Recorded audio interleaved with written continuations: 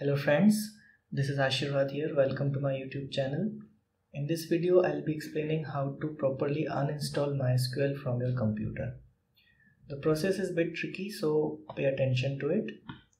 Often we need to uninstall and reinstall MySQL because uh, uh, it, it simply doesn't work sometimes or it simply does not allow us to log in or whatever is the reason.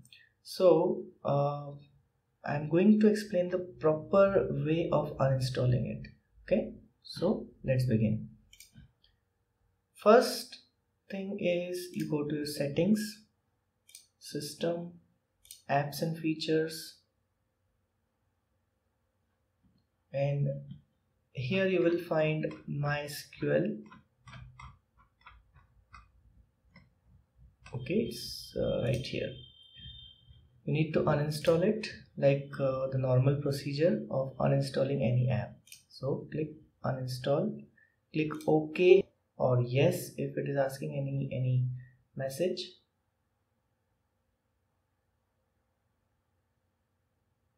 Fine. So it's now uninstalled from this list but it is not properly deleted yet.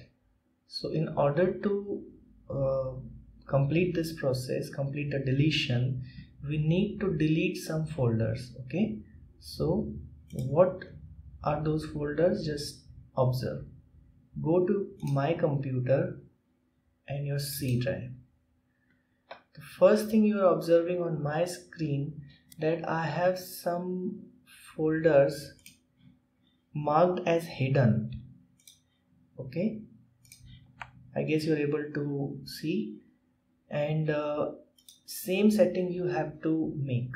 Okay you have to have your hidden folders displayed here. So how do we display our hidden folders? The, the process is quite simple. Go to your view tab and here you will find options. Okay? And the folder option window appears. In windows 7 you will find an organized tab here and from there you can select folders and search options and uh, from there you can uh, do the same thing.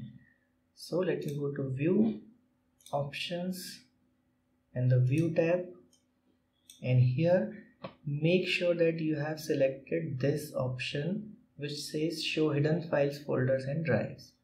Click ok and you will have all your hidden folders displayed here now, the first folder we need to look into is of course program files. Open program files and look for MySQL folder. It's here. Press shift delete which means we want to permanently delete it. Click yes. It will ask for administrator permission. Click continue so it's gone from this folder. Come back to C drive. The second folder is program data okay? Go to program data and look for MySQL. It's here. Again shift delete. Click continue. And it's deleted. We come back now, there are two more folders where you might or might not have this MySQL folder, okay? So, the first folder is program files x86, okay? You look for MySQL inside this folder also. Okay, it's not here on my computer, okay? So, I don't need to bother for it.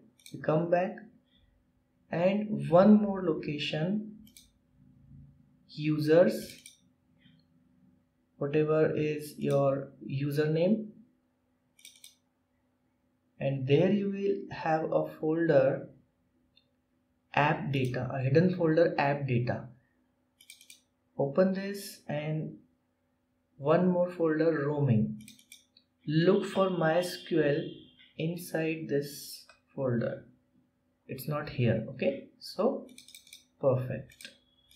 Now then we have uh, deleted uh, all the MySQL uh, folders, we can say we have successfully uninstalled it. Now, after following this procedure, when you reinstall MySQL, you will be successfully able to reinstall to know more about MySQL installation you can check out my video which I had posted earlier regarding uh, installation of MySQL software on your computer. So thank you so much for watching this video. If you like the content please subscribe and like. Thank you.